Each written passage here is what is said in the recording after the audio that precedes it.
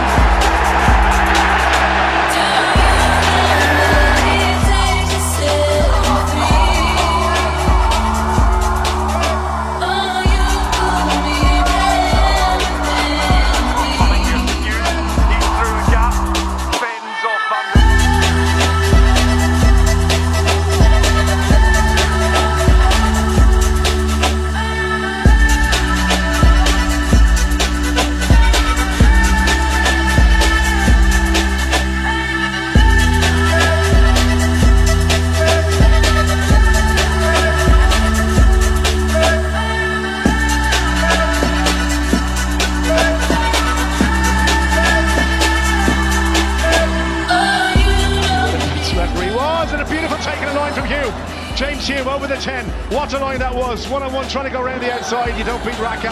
All off that line now. Burns once more, and this is the wonderful James Hume. He gets in the queue.